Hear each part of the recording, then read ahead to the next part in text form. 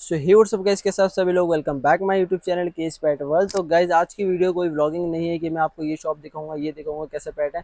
आज मैं आपको डिटेल देने वाला हूँ जर्मन शेफर्ड और रॉट के बीच में, क्या डिफरेंसेस है और दोनों में से कौन सा डॉग बेस्ट है। गाइज़ दोनों डॉग अपनी अपनी जगह बहुत बेस्ट है। आप दोनों में से कोई सा भी पाल सकते हो, लेकिन मैं आपको बताऊँगा कि दोनों में क्या क्या है फैसिलिटीज़ है, क्या है मतलब। तो पूरी डिटेल देंगे तो वीडियो पूरा एंड तक देखना। चैनल पर चैनल पर सब्सक्राइब कर दो। इस वीडियो को लाइक कर दो। तो चलिए आज की वीडियो स्टार्ट करते हैं। तो फ्रेंड्स सबसे पहले अगर मैं बात करूँ रॉट विलर की तो रॉट विलर की गाइज़ हाइट रहती है 24 से लेकर 27 इंच तक ये मेल की हाइट होती है। और बात करें अगर फीमेल की तो फीमेल की हाइट होती है गाइज़ ट्वेंटी टू से लेकर ट्वेंटी फाइव इंच तक फीमेल की हाइट रहती है। तो कंपैरिजन जर्मन शेफर्ड से थोड़ा ज़्यादा ही है तो जर्मन शेफर्ड का भी बताएँगे। और बात करें इनकी वेट की तो गाइज़ वेट मेल का जो रहता है वो 95 से लेके 135 पाउंड्स तक मेल का वेट हो सकता है। और अगर बात करें फीमेल की वेट की तो फीमेल का वेट गाइज़ 80 से लेके 100 पाउंड के बीच में हो सकता है। और इनकी अगर लाइफ की बात करें तो गाइज़ ये नौ से लेके दस ईयर तक इनकी लाइफ होती है। तो कंपैरिजन अभी आप जन्म शेफर्ड का भी देख लेना। तो फ्रेंड्स अगर बात करें रॉट व्हीलर के कलर की तो गाइज़ इसके अंदर तीन कलर्स आते हैं। तो तीनों के आपको नेम बता रहा हूँ और यहाँ आपको शो हो जाएँगे। तो फ़र्स्ट जो कलर आता है गाइज़ वो आता है ब्लैक रस्ट जो सबसे ज़्यादा मोस्टली सबसे ज़्यादा जो दिखता है वो कलर ये है। और दूसरा जो कलर आता है वो होता है ब्लैक मैंगोनी ये थोड़ा डिफरेंट कलर है तो इसकी भी बताएँगे। और इसके बाद जो तीसरा कलर आता है, वो होता है ब्लैक टेन। और ये कलर सबसे ज़्यादा बिकता है मतलब ये जो कलर है, सबसे ज़्यादा मोस्टली आपको इंडिया में सबसे ज़्यादा दिख जाएगा। हाँ तो फ्रेंड्स, आपने देख लिया कि जर्मन शेफर्ड और रॉट व्हीलर के बीच में आपने रॉट व्हीलर के बारे में आपको बता दिया है कि रॉट व्हीलर में ये ये कलर्स होता है, ये वेट होता है। अब हम बात करेंगे जर्मन शेफर्ड के बारे में। तो फ्रेंड्स, अब हम बात करेंगे जर्मन शेफर्ड के बारे में। तो गैस अगर जर्मन शेफर्ड की अगर वेट की बात करें तो वेट इनका होता है 65 से लेके 90 पाउंड्स तक ये होता है मेल का वेट अगर आप रॉट व्हीलर की कंपैरिजन में करें तो गाइज़ रॉट व्हीलर से ये थोड़ा वेट में कम होता है।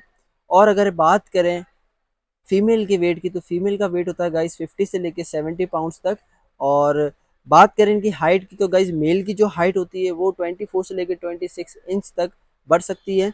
और बात करें अगर फीमेल्स की हाइट की तो फीमेल्स की हाइट गाइस 22 से लेके 24 इंच तक बढ़ सकती है। तो हाइट में भी गाइस ये थोड़ा जर्मन रॉट व्हीलर से थोड़ा कम ही है। और अगर बात करें इसकी लाइफ की तो गाइस लाइफ भी रॉट व्हीलर से कम ही है।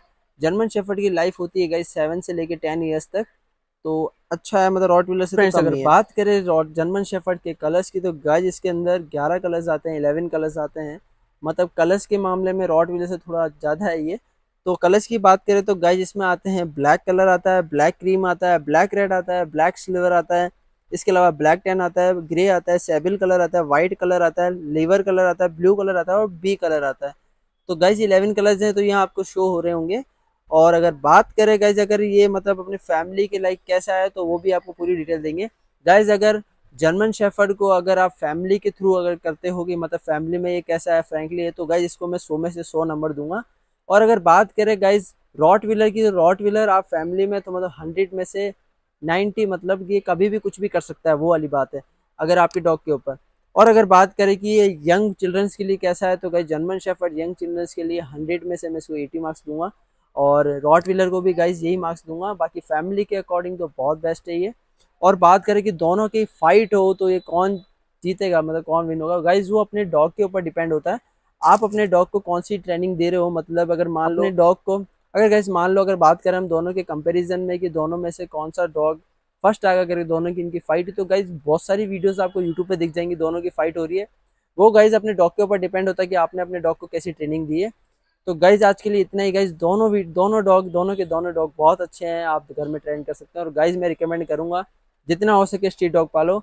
उनको आप पालोगे तो आपको काफ़ी खुशी होगी, उनसे ज़्यादा प्यार आपको कोई डॉग नहीं देगा। तो जितना हो सके स्ट्रीट डॉग पालो।